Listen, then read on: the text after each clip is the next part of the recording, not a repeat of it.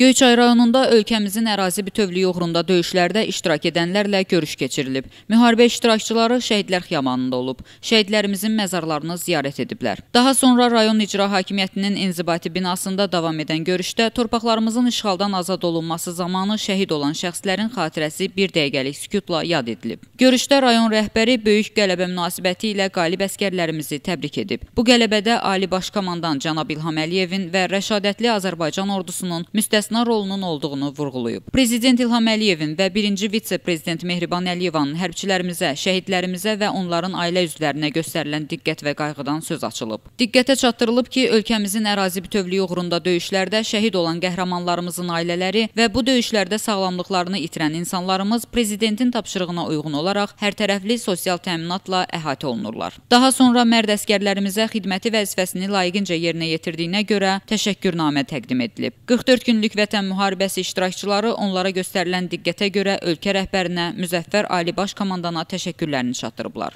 Görüş sosial izolyasiya qaydalarına uyğun olaraq keçirilib.